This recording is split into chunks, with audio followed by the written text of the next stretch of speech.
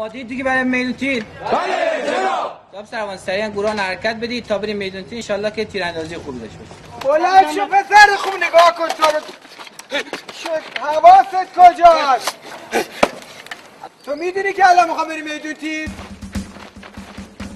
گورهان ایست آخ محمدی چه کار کردی قبل از اینکه تیراندازی شروع کنیم یک نفر داوطلب می‌خوام. که بیاد به عنوان اولی سرباز گورهان تیراندازی کنه. الان داوطلب گورهان ما کیه؟ بله آقای محمدی از همه بهتر